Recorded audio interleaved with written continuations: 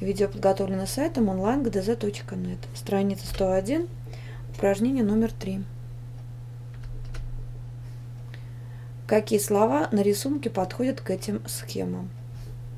К первой схеме подходит слово лесник, лесочек, лесище, лесной, лесистый, лесок. Ко второй схеме, состоящей из приставки окончания и суффикса, подходит слово перелесок. К третьей схеме, которая состоит из корня и окончания, подходит слово лес. К четвертой схеме, в которой есть приставка корень и окончание, слов, которые подходят к этому слову, нет.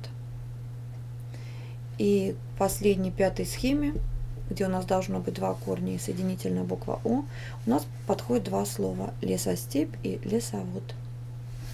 Если вам понравилось видео, смотрите остальные решения на нашем сайте. Если есть вопросы, предложения или пожелания, подписывайтесь на нашу группу в социальных сетях.